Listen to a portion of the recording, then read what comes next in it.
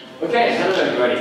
Um, I thought I might kick off this morning by just asking a question and providing us with an outline of how I think about the answer, right? How is, why is the very nature of software changing, right? So think about it, over the years we've had the focal point of software has moved around. Databases, SQL databases were a big thing at one stage, and now they're essentially a commodity. Various things have been the focus, right?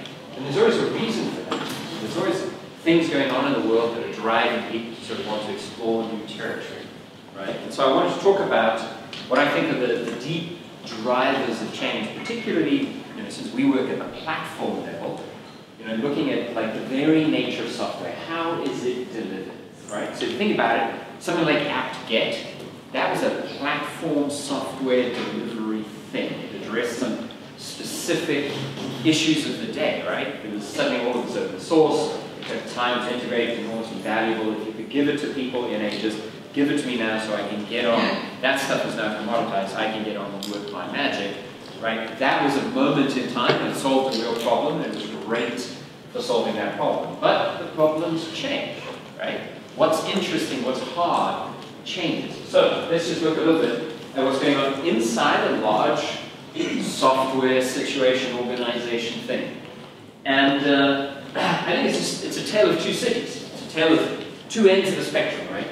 At the heart of any substantial organization, you've got um, some sort of core cloudy thing as a focus.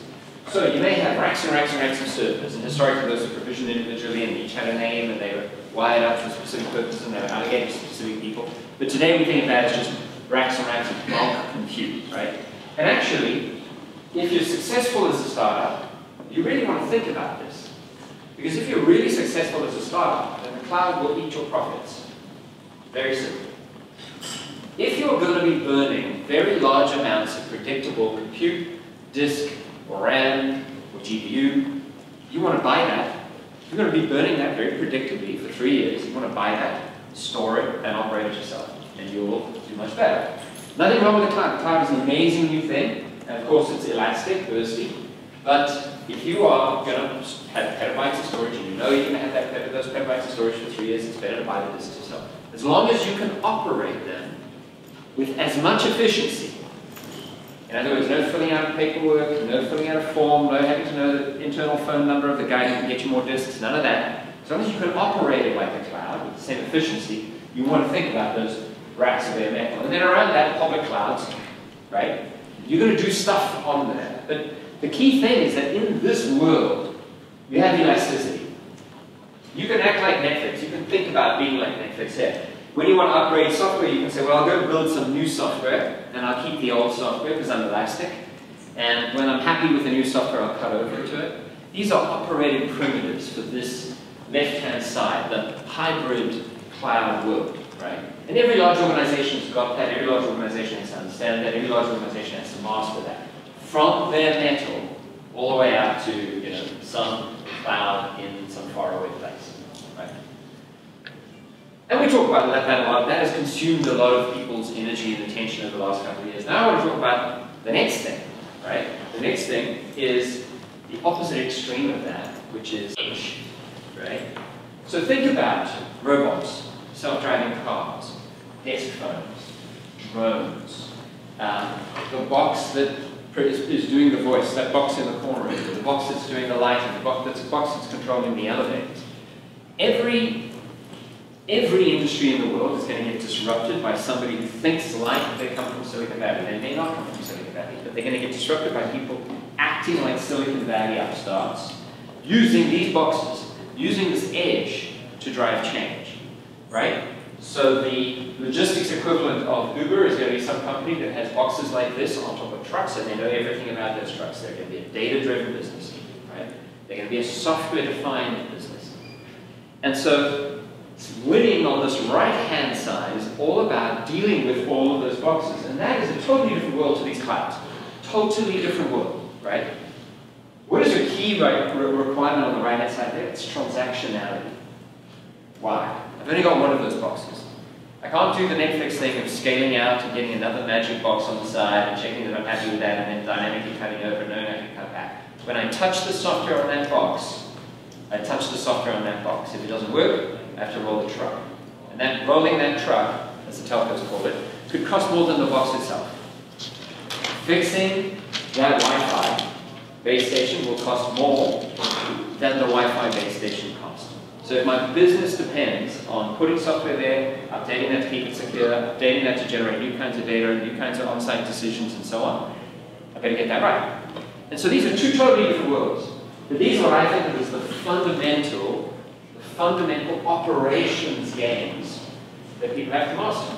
And so the question for us is how do we, what do we offer at a platform level that makes people's experience of these two halves great? So let's just look at what developers are doing. Well, we know 70% of developers out there use Ubuntu. You can see 70% of AWS images, Docker, Docker images, 65% of the large OpenStack deployments. If people are doing kind of crazy stuff with Linux, they're pretty, pretty much doing it on Ubuntu, right? And actually, we see the same sort of numbers coming through for IoT, for the edge stuff as well. And I want to start out on this journey by talking just about this, that elastic piece, right? The, the, the hybrid cloud storage. Okay. On average, the cost of a software license is plummeting, right? Open source. How much does it cost you to buy OpenStack, Hadoop, Kubernetes, Mesos, Mesos, right? Those things are all free. It's just this incredible amount of amazingly valuable, complex, useful, free stuff out there. What's not free? You. Right? The people who know how to operate that. That is increasingly the problem. Now don't snigger, this is not an opportunity for you. Right? Because if you think you're, as a human being, going to be the smart guy that helps XYZ bank deploy Hadoop, because you know about all the pieces of Hadoop, Hadoop and put them together. In other words, if you think you're going to get all the profit from the Hadoop's existence, you're absolutely, totally dead wrong. You could say why. So your story. Big bank in Germany just took all of their Hadoop operations and moved them to SaaS and famous public cloud. In other words, they said, we're just going to call an API and get ourselves a Hadoop instance. They hate that. That bank hates that decision. But they did it. Why? Cost. Tax. So they can write it off immediately. The behavior of the cost. I mean, a cost, whether it's an employee cost or a, the behavior of the cost. It's predictable.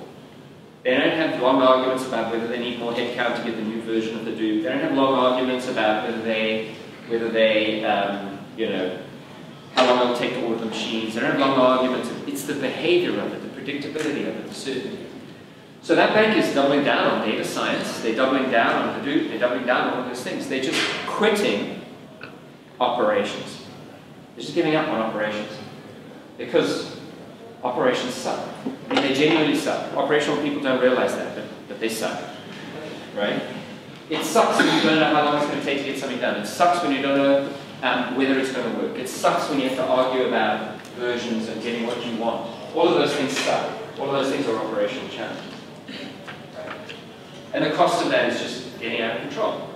Kind of fantastic, right? As the cost of software has dropped, cost of operations has exploded. So that's the big thing. And if you know economics, you, know about scarcity, right? Scarcity drives pricing, right? Software is not scarcity. GitHub, it's the exact opposite of scarce, right? Release early, release often means we have huge amounts of unfinished software, right? That's changing very fast. Operations are what's scarce. And this, I think, is driving a phase change. Phase change, like ice to water to steam. If you had to get 100 tons of ice to San Francisco by this afternoon, that would be a totally different proposition to getting 100 tons of steam to San Francisco, right? Totally different equipment, totally different regulations, totally different skills. Okay. So operating software is going through exactly the same kind of transition. So the same thing with big data. How many people that you know with great Oracle DBAs are now great big data science, uh, like operations guys? Pretty much zero. Think about that from an operations. If your career is in operations, think about that. If we are going through a phase change in operations, you either go there or you fall behind. It's just like that, right? And just like with, with the, the big data story, you know, when big data came out, the data experts, the Oracle DBAs, scoffed at it. Oh, the kids, shame, they just don't know how to use the latest version of, you know, the, the Oracle SQL modeling capabilities. Or they don't have access to big enough machines. But actually that wasn't what was going on. What was going on was this phase change. When you're in the middle of a phase change like this, you're invisible. It's not like ice melting that you can see. It's just that you're running and you can't keep up, right? And so something somewhere in economics tips and people just start doing it differently, right? And you are you're perfectly capable of being totally blind to that even while you're writing up there. It happen around you you won't know unless you step back and look at it. So this big this phase change of multi-software, three drivers, complexity, right? When we moved to microservices, I saw a funny comment the other day. There was somebody tweeted, we've decided to break this monolithic application down into, into five microservices. Yeah, all of the Silicon Valley buzzwords in there. So to someone else replied, well, so you find five, find five teams that hate each other. Right? In other words, moving to microservices does fundamentally drive up complexity, right? People talk about it the other way. Yes, individual parts become simpler. But the whole, you now need to be able to understand the behavior of the whole. And change of the whole happens every time you have change of any of the parts. Right? Scale. We used to deploy software on two machines. App, database. Then four machines. Then hundreds of machines. Right? So when we talk about interesting applications today, Google's AI, OpenStack, Kubernetes, Mesosphere, right? Those things all happen at great scale. Now that means stuff that used to be easy because you could just take 10 minutes to do it, to think about it and to do it. Now it's hard because you have to do it hundreds of times. And more than that, when something changes, you have to redo it hundreds of times. We did something, there was an analogous kind of situation when the public cloud got going. We noticed we like watching what the smartest, sharpest, most ambitious people are doing. We noticed that that class of sort of crazy person, um, crazy and crazy bright, was trying to use Ubuntu on AWS. And we just spent a year studying them and making Ubuntu better for them. They weren't paying any money, they weren't particularly interesting, there were no businesses there, but that class of business was really interesting, their problems were really interesting. And the simple answer is that we'd all built operating systems to be installed on machines and it kept for 10 years, right? That was the, the state of the art. You want to buy machines that if you were successful, you would keep those for 10 years. And here, it was the exact opposite. We were installing the operating system and then throwing it away. So just that friction, small stuff that was really quite acceptable friction, decisions people had to take and ways they had to communicate them during the install process were completely inappropriate for the public cloud. And so we just got rid of those things and we provided mechanisms like Init and so on and so forth. We invented mechanisms like Init to make those things easy. And so Ubuntu became the platform of choice for the cloud. So what we'll talk about here today are the same sorts of changes, things that we're doing to make these sorts of things, to, to look at the friction associated with operating software and, and clean out. So microservices are increasing complexity, and everything that's interesting is complex. There are no, sorry, the only people doing interesting things at, you know, with, with a single piece of software are at the edge in IoT, and the same is true of scale, right? Everything interesting is at scale, right? Cloud Native story is fundamentally about scale. And open source in particular is dramatically increasing the velocity of change, right? Because nobody has to go through the product management cycle for a release on GitHub, right? Nobody has to go and say, well, we'll be able to support this. Nobody has to go and say, how are we going to market this? Nobody has to, they just push it out there. And now you have to operate it. Right? When Kubernetes changes, you either are stuck or you embrace the change. You figure the change. Right? Same for OpenStack, same for Cloud Foundry, all of that stuff. So this is the age of big software. It is a new time for operating the software. Just like big data is a new time for, um, for data. And how do we deal with that? We deal with that models. Because models are about reuse of a known good. It's doing stuff, it's having to figure out what you want to do, or having to figure out what got done that makes big software intractable, that takes it out of the realm where you can do things the way you used to do?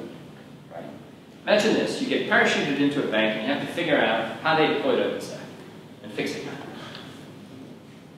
Right? And there's a steaming pile of Chef. I love Chef.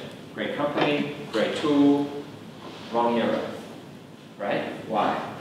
Because Chef, Puppet, those tools work on the basis that you have someone who knows what they want.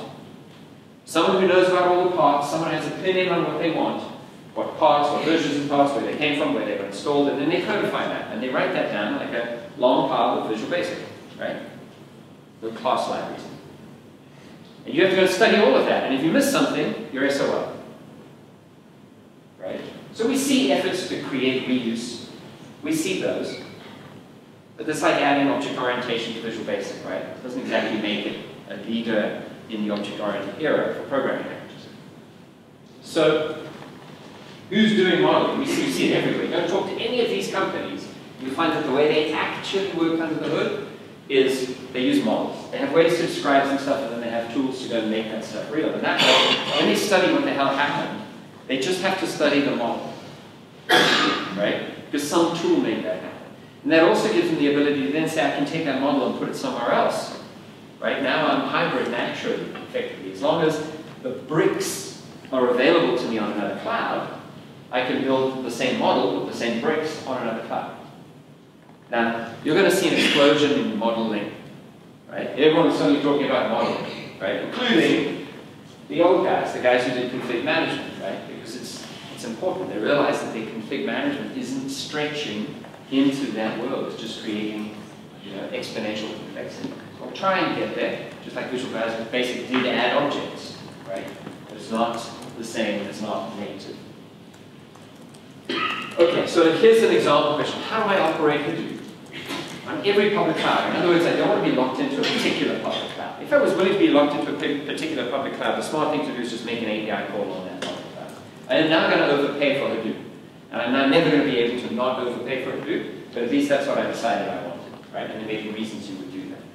But how would I do it in order to operate it cost effectively on every cloud? Well, I build a model of it, right? And I want to be able to put this same model on bare metal, as a service, NAS, in machine containers, which are containers that are designed to look like VMs, only they have the lightness and speed of containers, on Google and Azure, or a VMware, right? What matters now is that I need to know that the bricks that this model consumes are available in all of these places. Right? That's, that's the key thing. This model will work as long as I can get all the bricks. And so when you look at different kinds of modeling, you've got to understand what are their primitives because there will be lots of kinds of model, and they will use different kinds of primitives. And that will decide, help you decide whether it's an appropriate modeling language for a particular job or not. There's a temptation to say, oh, well, it's all going to be modeling, should pick one modeling language. Well, Lego is a great modeling language, but I wouldn't build a house in it. Right? The bricks are perfectly good for certain kinds of applications, not for others. Okay, so in that world, I think there are five things that we want to care about. Again, there'll be lots of modeling stories, different parts of the layer will care about different things. But I think there are five things we want to care about. First, scale. Scale is just an intrinsic primitive. Think of that picture that you always see of microservices. The individual microservices could be at arbitrary scale. How many Hadoop HDFS machines are there? It depends. We shouldn't have to talk about it. You and I could reuse the same model, the same bricks, I just want more of the, that brick, right? That doesn't change the logic what's going on. If it did, I'd be back to being parachuted into that bank and having to figure out what the hell they did, right? But if I can just come up a level and say, okay, so you've got this brick, this brick, and this brick, and you've got a bunch of those, that's fine. Right? Scale needs to be intrinsically part of the model. So behind this picture, this is a Juju picture, behind this picture, that's an application, right? Behind that is an arbitrary number of units, right, machines, with the charm installed. The charm is the same for all. And anytime, anywhere you see a syslog, or a MySQL, or a Zeppelin, or a Spark, or one of these elements, it's the same charm. It's got the same name, it's the same charm. So that gives you your second one, the third one, which is reuse. When I'm building a, a, a, an OpenStack, I probably want MySQL. When I'm building a, a Hadoop with Hive, I probably want MySQL, right? The nature of MySQL might be different. In one case, it's probably you know bare metal. In the other case, it's, it's, it's probably a bunch of um, containers on bare metal. Who knows? But but the point is the operations of that MySQL are exactly the same. How do I back it up? How do I change the leader effectively from you know active passive? How do I swap that? All of those things that involve knowledge of that piece of software should be totally reusable. If they aren't totally reusable, we fail. Because the real problem here is reducing the cost of the knowledge. Remember that ops cost is really a cost of knowledge and skills. So if I get reusability there, right, I'm reducing the cost. It is much cheaper to buy bricks by the ton than to commission someone to make you some bricks. Right? And when you commission somebody to make you some bricks, you have no idea how strong they are, so you have to send them for testing. Right? And they're beautiful. You may love those bricks, but they're very expensive. Right? Integration. So, if we're going to all reuse the same MySQL, we have a problem. Because the truth is, what I want to do with it may be different to what you want to do with it. And when I say what I want to do, what I mean is that the total application may be different. I want to stick MySQL behind WordPress. You want to stick it behind Hive. Right? So I need to model that we have the same MySQL, right? There's a MySQL, it's a MariaDB, but it's a MySQL-ish thing, right? We have the same one of those, but we've hooked them up to different things. In this world, the application is the whole picture, the whole model, right? And so I can get an infinite number of pictures reusing common parts, but then I have to model that. So that's a critical thing to model, and it's not easy. The way Juju does that is it says basically, these two things declare that they speak the same interface. One will provide it, one will consume it, and then we, we trust it. When they say that they speak the same interface, we say, okay, we will now let the operator essentially connect this set of things to this set of things. And maybe they can actually connect for different purposes, so the interface specifies the purpose, right, of that connection. And when we do that, Juju facilitates a message exchange between all of the things doing this and all of the things doing this to essentially agree on whatever they need to agree to happen, right? They need to, in this case, they need to create users, they need to create databases, they need to create tables of those, they need to provide access, they need to open up ports, they need to do all sorts of things to allow that integration to take place. If you are a large organization, there's a subtle thing here that is incredibly important and incredibly valuable to you, which is that you have just pushed the cost of integration back where it belongs, which is to your vendor, or to the open source community where that shit came from. Right? Instead of saying, oh wow, that's some nice stuff, I'll hire someone who knows that to integrate it into my world. You're saying, chaps, you can keep that stuff until it operates itself in my world. And that's exactly what we're seeing. That's exactly what we're seeing. We're seeing large organizations, as soon as they really understand this and they play with it, they're like, oh, I don't want to see any new stuff unless it comes with the charm. Right? The charm is the encapsulation, the encoding of all of this logic and knowledge for that piece of software. Right? Because if you're in the business of essentially selling services to customers that are made up out of software that you bought from people, and you have to do that work in the middle, some of that work is stuff only you can do. But a lot of it is stuff that really is a function of the software. And if you can't really evaluate software until you've integrated you now have a problem. You're going to spend 40, 50, 60 million dollars buying essentially a piece of software from a large global organization that supports that software globally. And you're going to make that decision off, off the back of a set of slides and PDFs. Because you cannot test it, because you cannot efficiently stand all of your options up and integrate them into your world because it takes too damn long. It's too expensive. So you literally see these huge decisions made off the back of Golf, PowerPoint, and PDFs. That's a terribly inefficient way of choosing an operating software.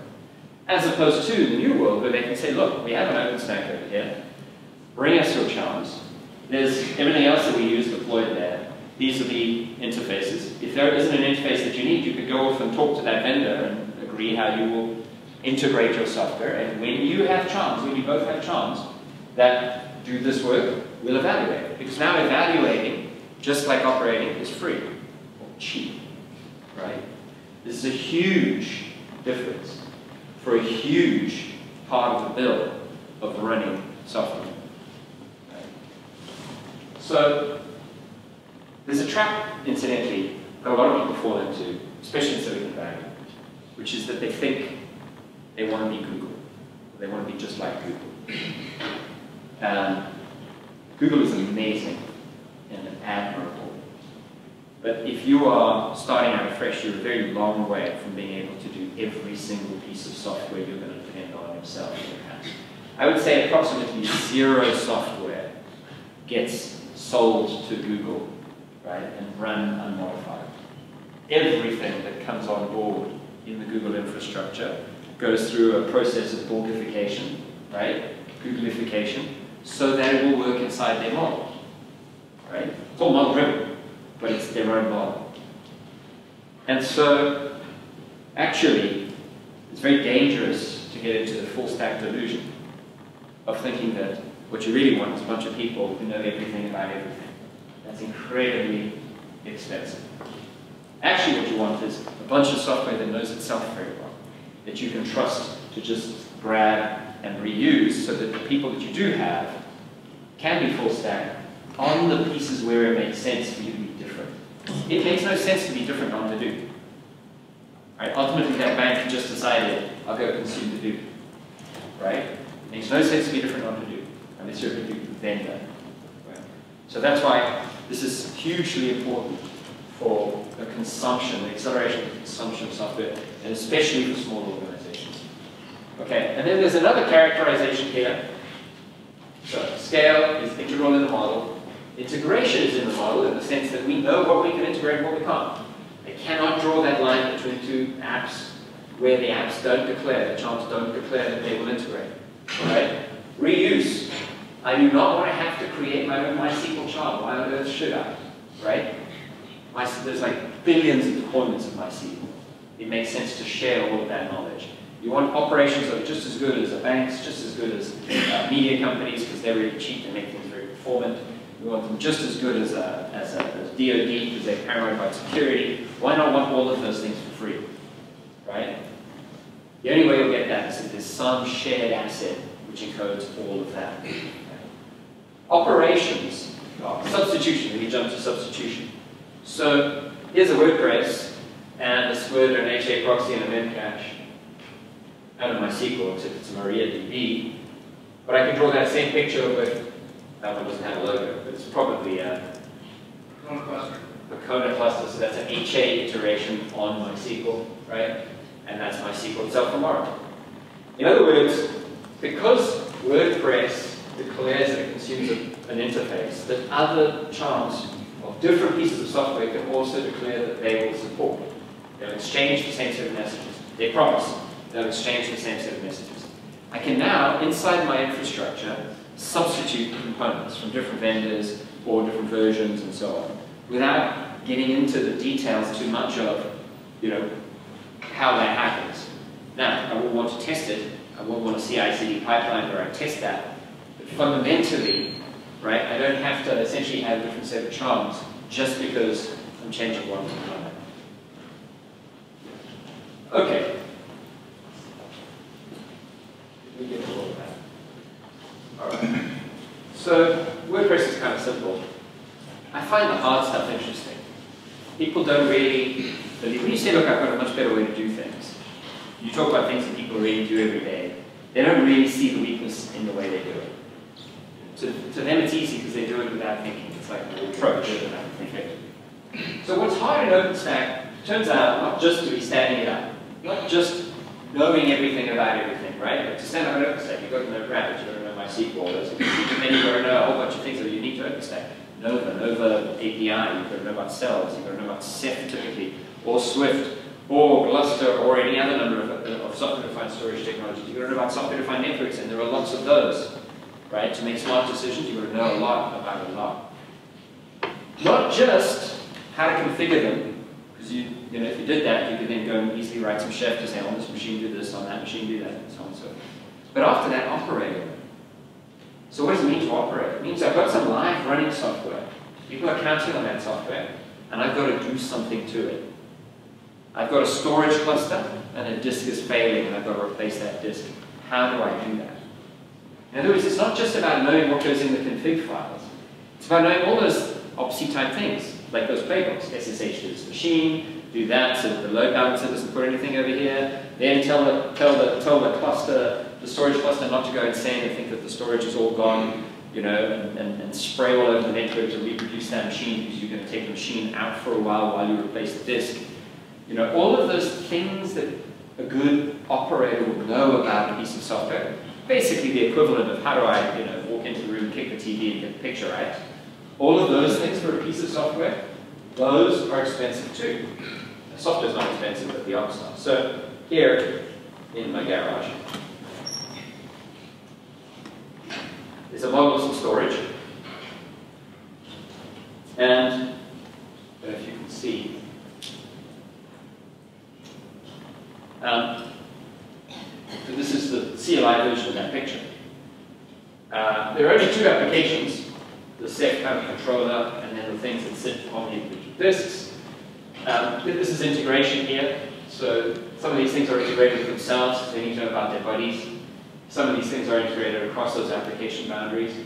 And here are the individual units. This is the scale. Like these are the actual machines, effectively, that are running those different pieces of software.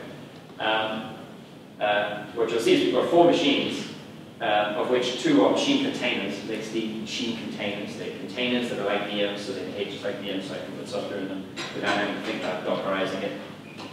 And, and in that whole picture, right, I may need to change this.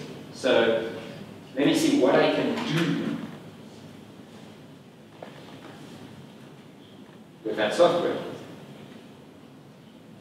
So now very elegantly, I have a crowdsourced, people vaguely read that. Good enough. Ask a buddy who's close to the front. Um, I have a, very cleanly articulated set of standard operational things I can do. Do I know who wrote that code? No, but I know that lots of banks and telcos are using that code. Right? Do I know, know who built this kernel? No, but I know hundreds of millions of instances of it have run successfully on AWS, right? Trust comes from a certain extent of shared risk, to a certain extent shared risk, right? So if this was sort of chef code that somebody that I hired wrote, then I'd want to have a lot more process around that to make sure that there wasn't a mistake, because that mistake could, could happen just for me. But now this is shared code, shared risk, many eyes, many bugs, hopefully getting shallower, right? So we're taking complexity and we're sharing the cost effectively of operating that complexity, figuring out how to, how to back up a database. Is it easy to back up a database? Only someone who's new to that database software would say yes. Because you've got to think about, okay, if it's scaled out, do I want to direct that backup to happen off a, off a passive unit, for example? And if so, which one? How do I judge load? Um, what's the right place to do the backup? What do I need to signal to everything else while that backup happens? Can I run two backups at the same time? What does that mean? All of that detailed knowledge about how to do a really great backup of a live production database is expensive, unless it's free. Unless we actually change the nature of the software to facilitate it becoming a commodity. And that's what's going on here. That's why charming is so very cool and very important. Okay.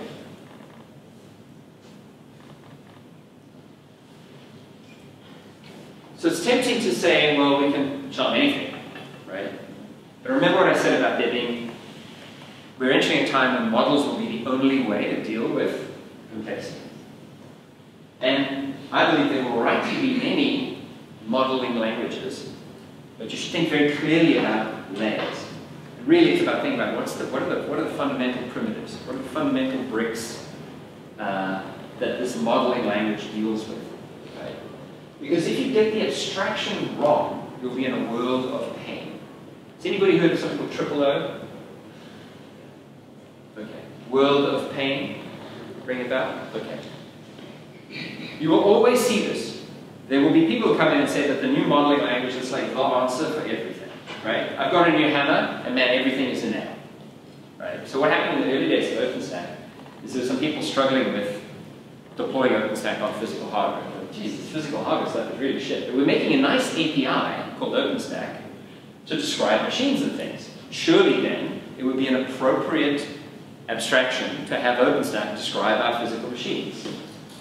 Total epic disaster. Why? Because 90% of the nods that OpenStack gives you to describe a VM are completely irrelevant and inappropriate and misleading when you're talking about a physical machine. Right? So just be careful with that trap. You want to really think about like, what actually am I dealing with here? It's tempting to say I can move everything to be like nails, which case use a hammer. But the reality is you probably can't unless you know you can. And if you think that you can do it for everything, then you need to think hard. So here we're modeling Kubernetes. Why is that appropriate? Because really, Kubernetes is a set of applications installed on machines. And for Juju, the raw primitives are machines. In other words, things running an operating system that I can that I can install applications on, that I can manage and monitor. And that could be virtual, it could be physical, it could be contained machines from XP or Solaris Zones, for example. Right? But they behave like machines. Kubernetes is different. Kubernetes offers a model of processes. And that's great, right? That's just a different primitive, a different brick. And sometimes you're going to want to model a set of those kinds of bricks. Sometimes you're going to want, to model a set of applications on a set of machines. And you're going to see layers emerge above the process container story as well. So this is just an example of, of some telco software. This is hard telco software, made easy uh, with Juju. This is a bunch of the companies making charms of their software effectively to make it easier to operate their apps on machines. So really we double down on that. Juju models machines and applications. It's kind of traditional software. Hey, I've got some machines, some virtual machines, and some LXD things that look like machines, and I've got some apps. How do I make all of that work? Right? You will see other things that model other things, and you should be good at all. of them. Okay. If we're going to model machines, then we have to adapt and operating systems, and we kind of have to be good at that. So that's why Juju supports Red Hat, Windows, and you'll find charms of stuff on Windows as well, right?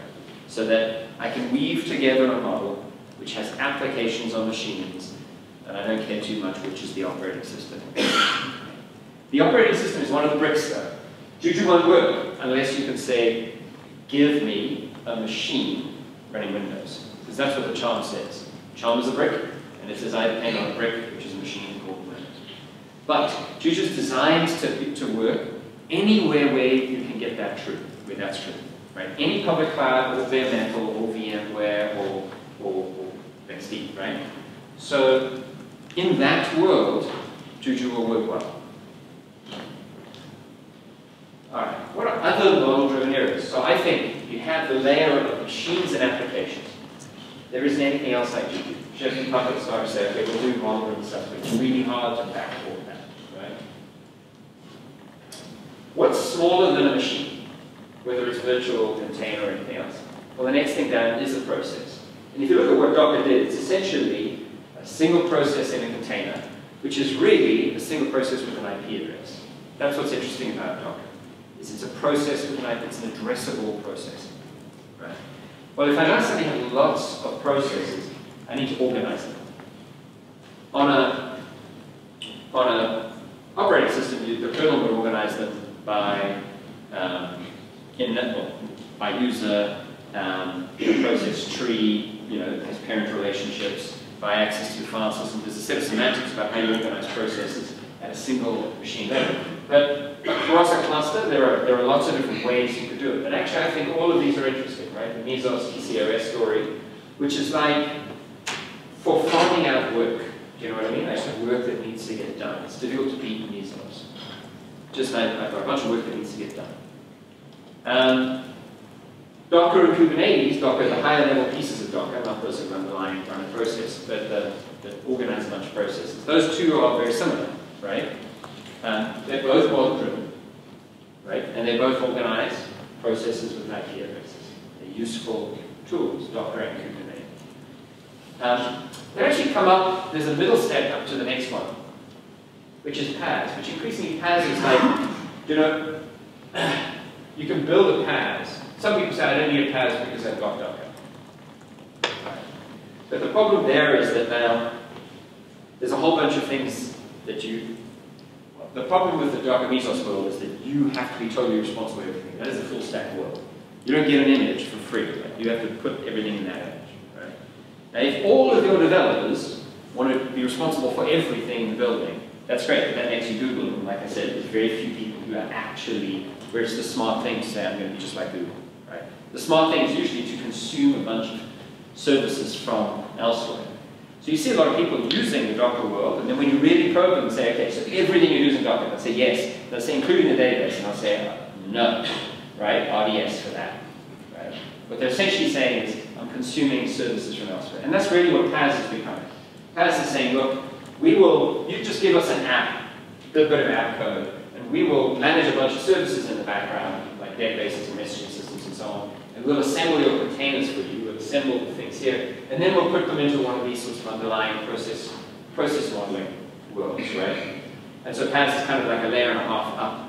It essentially does some of the assembling of the process containers that, that, that you would have around. And then I think there's another layer that we'll see, we're seeing emerging on top, which is the service. And there it's even, you're getting even less, right? You're getting a slice of time on a process, which is kind of crazy, kind of cool.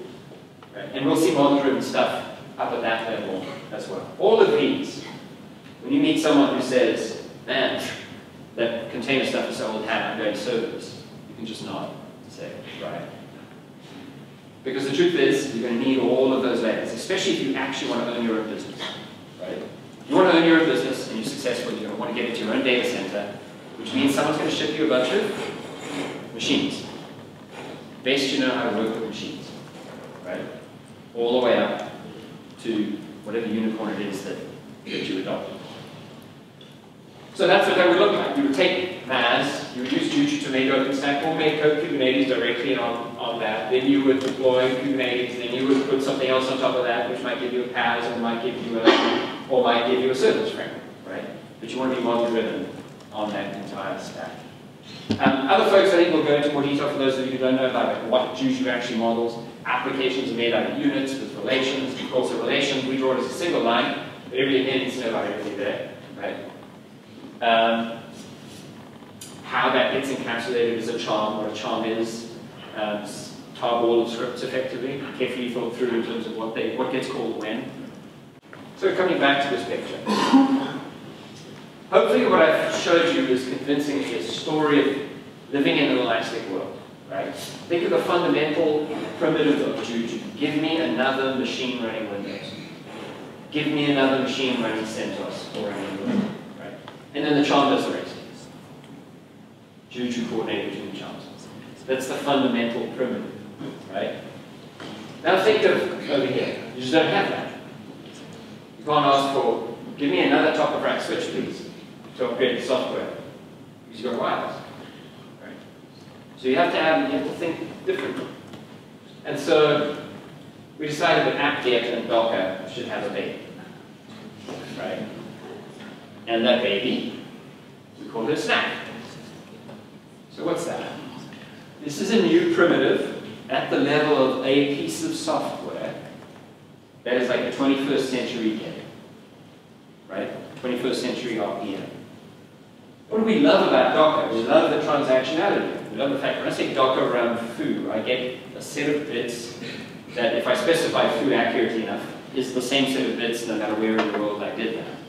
Right?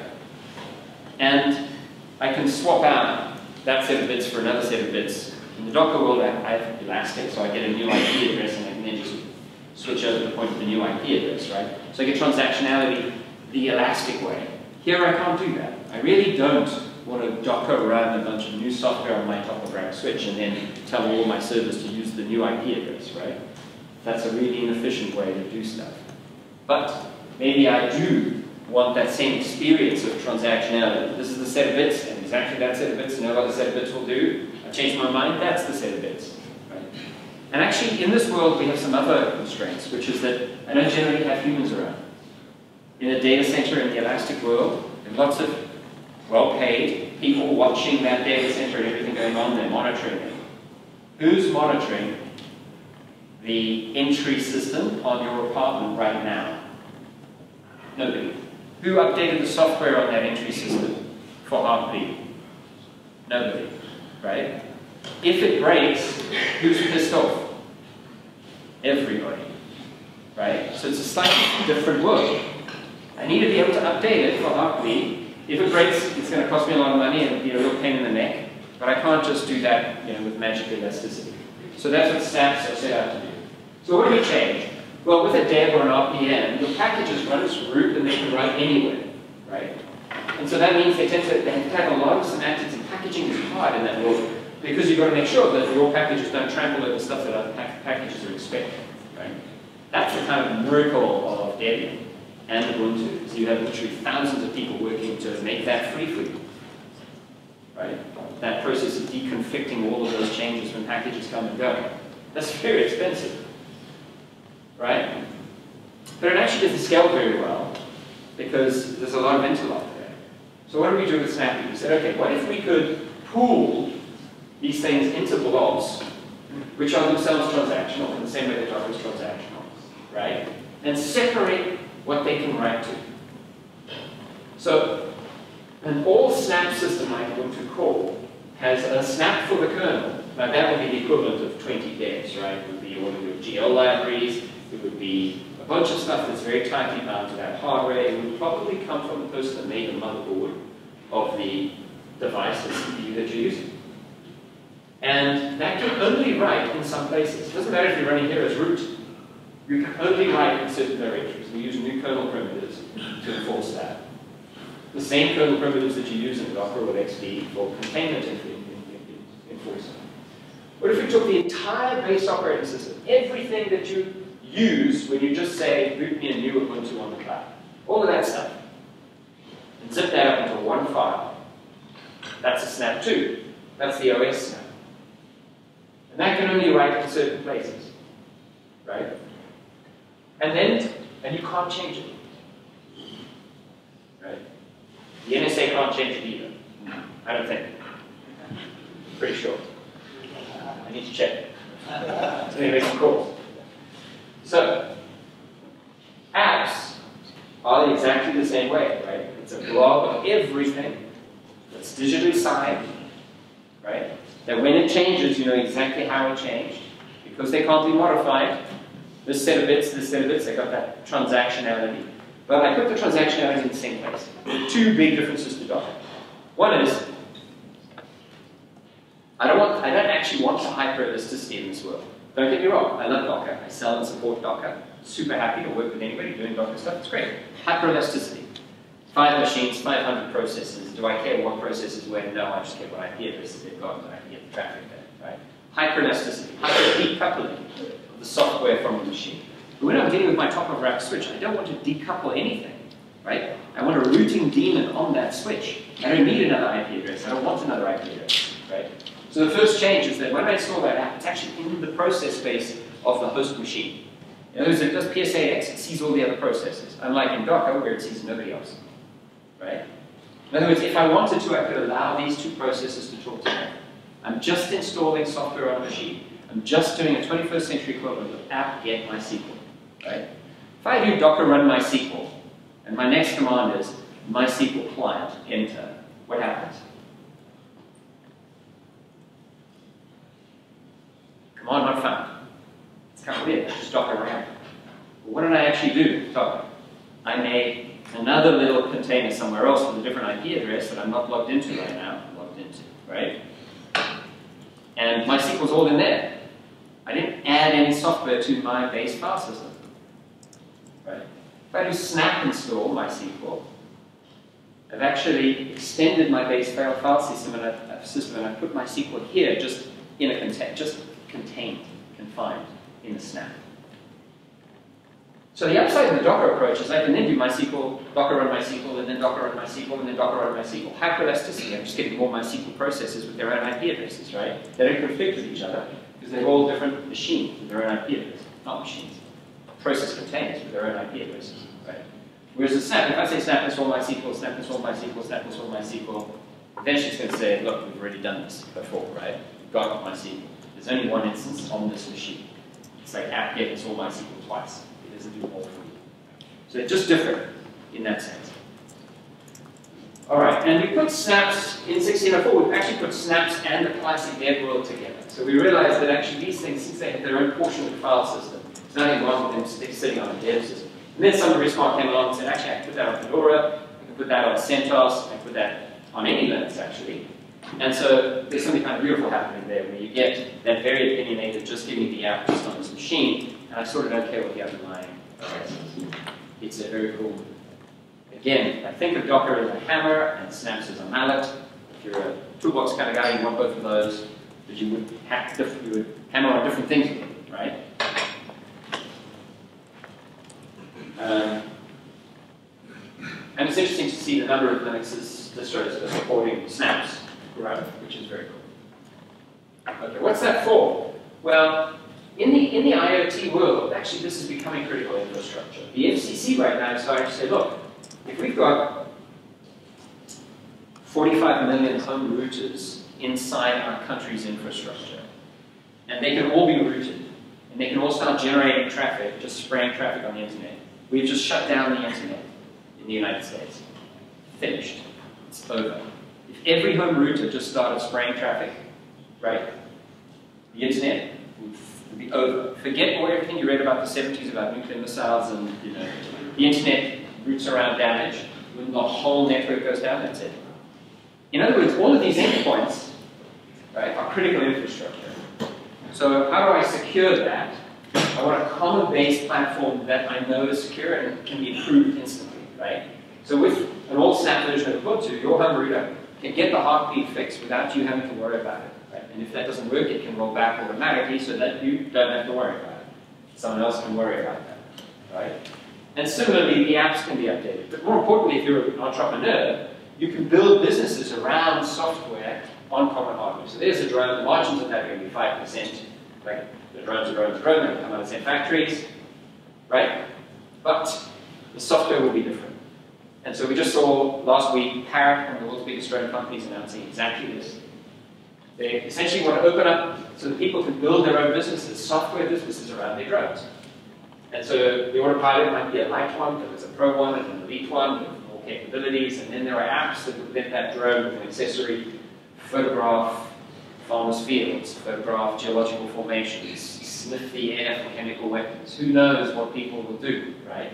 But suddenly that drone, that boring drone with 5% margins, 30 bucks of profit for that $600 drone, suddenly that's a platform for software-defined businesses. And that's super, super exciting. That's what snaps are all about. I Just want to show you, we're out of time, but hope you don't mind running over into the break a little bit, and, and, and I'll have time for questions. Um, so this is what a traditional system looks like, right? You have Linux, it's got disk, there's a bunch of processes. You do ESAX when you just do Linux and you see there's a bunch of stuff running, right? That's what I call like the, that's like the municipal workers, right? You think that life is all about that house or that business. Watch what happens to that house or business when no one's taking away the trash, no one's painting the street lines, nobody's making sure the traffic lights are working, right? The process and application in the traditional system depends on all of these other things running in the background. So what did we do? We made, we installed, we learned how to install applications on in this world. We know how to operate this. This is traditional operations. Your app installed on a Linux with a bunch of other processes running. Along came virtual machines, ESX, KVM. And what do we do? We reproduced everything, right? We essentially recreated all the constructs. Why? To keep the operations the same. Think of a virtual machine. What is it? It's a lie, but we love it. We love it because we can use it in exactly the same way that we used physical machines, right? Just cheaper and faster. And how do I operate that exactly the same way? When I boot it up, there's those processes, same as these processes. I install my application. It shows up in there. I manage it just using the same management tools. It's just got a different IP address. Then along came LXD and containers, LXC, LXD, Solaris Learners. What's nice about that, when everyone goes to containers, containers, containers, Don't forget this. 80% of your apps are not going to get rewritten in the last in the next 10 years. Right? They're not going to be Dockerized, right? Or mesosphered. So in LXD, we said instead of using a virtual machine, let's make it a container, but a container that can run all these other processes. And that's actually really hard. That's what the LXD investment is all about. Canonical leads that. And it's specifically to create a container that for operational purposes feels just like a brand new Debian machine, a brand new Ubuntu machine, brand new CentOS or RHEL. I install my application there, all the other processes are there, everything that application can expect is there. I don't have to change anything operationally or anything from a development point of view. I don't have to talk to the vendor. I'm just using a container instead of a VM or a physical machine. And I can scale that out, I get a lot of density there. But I operate it in exactly the same way. Now along comes Docker. What does Docker do? Docker says, you know, this is great, but if I only care about this process and I don't care about these, I can get denser and cheaper if I can get rid of those. I have to change my application typically, right? A little bit, just to tell it where to send logs and what to do. But fundamentally, I have to think about getting to a single process container, process app container, or machine container, process container. And I have to now operate differently. I need something like Mesos or Swarm to operate that. I can't just use my traditional SSH there and run some script Ansible or whatever, right? I need some sort of harness, some sort of new operations framework. And this is just a giant fight at the moment. Great, get possible. And that's what Snap does. Snap is this container that extends the host. Instead of getting a new IP address and operating as a different machine, I'm actually just extending the host and I'm putting the process on the host, just like I did it here, right? but in a transactional kind of way. So that's how I think about it. So know your containers, right? Is a machine container. Super useful.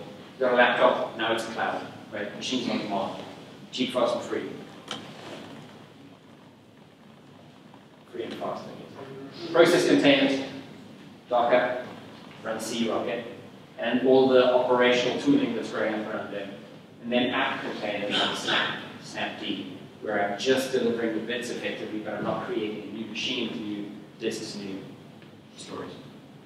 Questions, yeah? So, going to a lot of security conferences, it seems to me that this is an impossible thing to solve if um, the endpoint is critical infrastructure.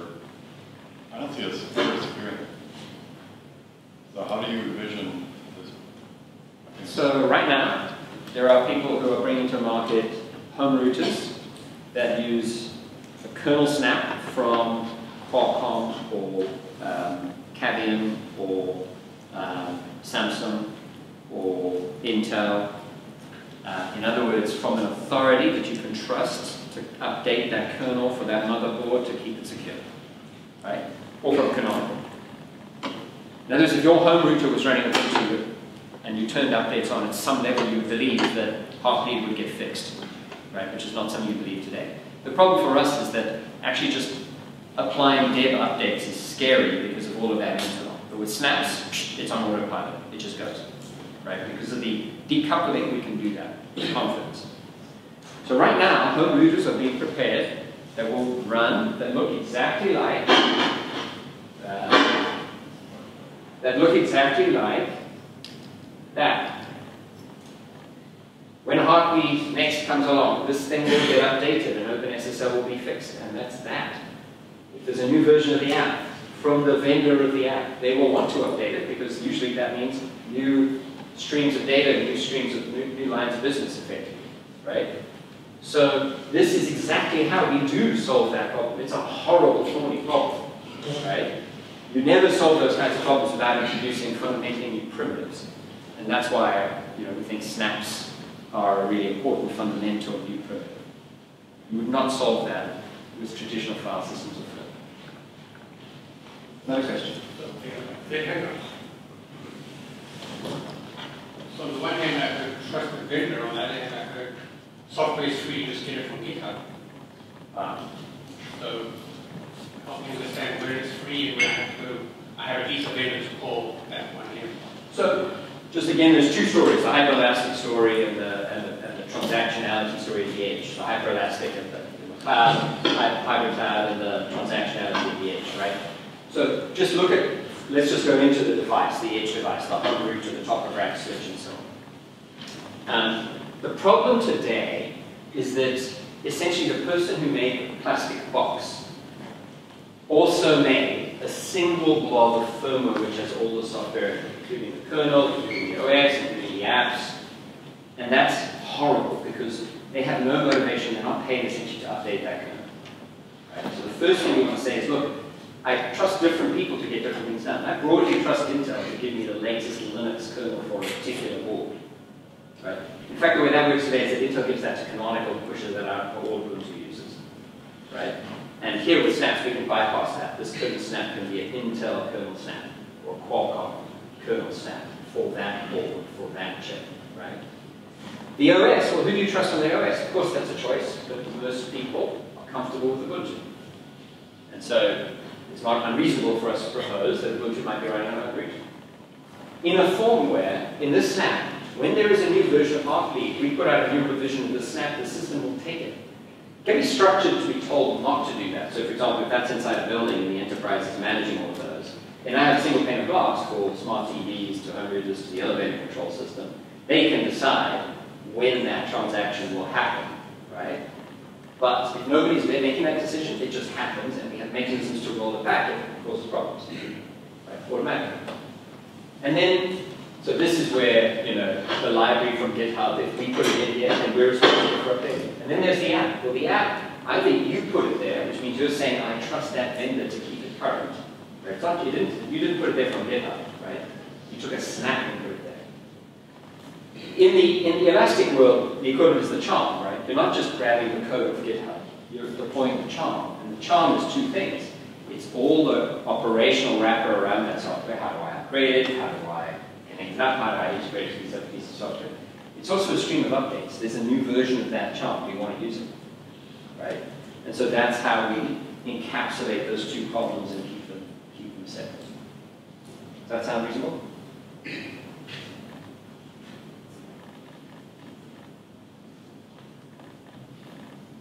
Last question, yeah. So what you were saying about um, having a single charm that's used in a lot of different uh, solutions and that can that can change itself depending on where it's used. That's something that conventional ops people are very scared about because when they deploy that single charm, they're not sure about what exactly they're getting. Whereas if they deploy a single Docker container, they're exactly sure, like this is the image, this is what I'm getting. What would you say to those people? Two things. The fear that you're describing is real. It's very analogous to the fear that an Oracle DBA would have had about a schemaless database. It's exactly analogous. Like, you guys are totally fucking out of control. that kind of fear, right? right? You're swimming in a world that feels unstructured. So first recognize that. We can't ask every ops person today, pre-big software, to be commenting on and rendering, rendering with and comfortable with the sorts of things we're going to have to do post-big software. Second, I totally agree with you that Docker creates that amazing feeling of control. I made these bits, I shipped these bits. So who are you trusting? Yourself? Exactly. Well, most people will trust themselves. Do you meet a lot of people who say, you know what I just love? I just love going to my production infrastructure and saying Docker run like shit that I found a web page on on Docker Hub? Do you ever find that? Do you ever find that? Do you ever find that? Yeah.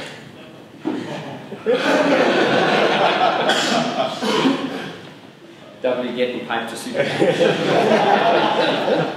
the truth is, no serious institution will be comfortable with that.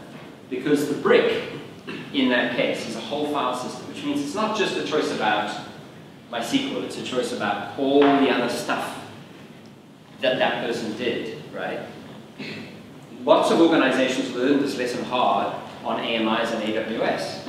As in, what do you mean you're just running that a a AMI on our network and putting your SSH keys and using your standard passwords on that AMI that we didn't build, right? It's totally analogous. It may as well say keylogger MySQL, right, as a name, instead of useful MySQL, right? So from an audit and control point of view, somebody else's Docker images actually aren't useful to you by design. And your own Docker images are super useful to you, but super expensive to your organization. Again, this comes back to the sort of full stack delusion. If I, as a medium-sized organization, bank, with all of the challenges for change management that that includes, if I now have to hire people who know everything about everything so that they can assemble images that they trust, everything just got expensive. Literally everything. Right?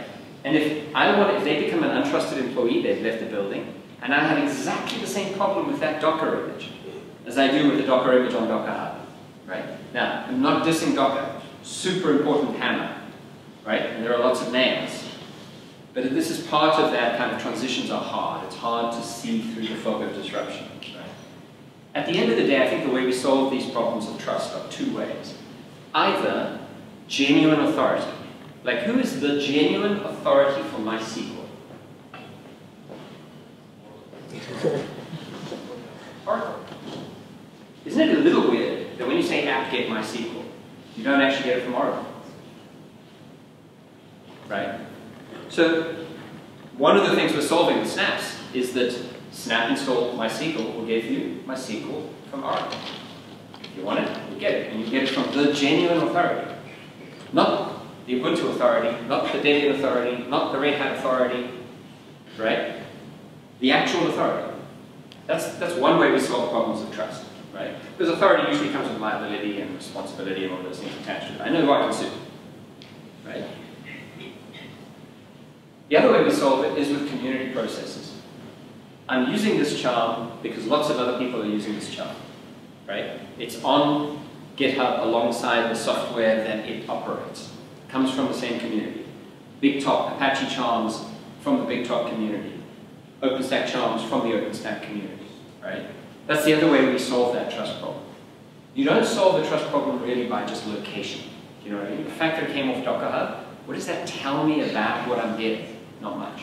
The fact that it's an AMI doesn't tell me much about what I'm actually getting, right?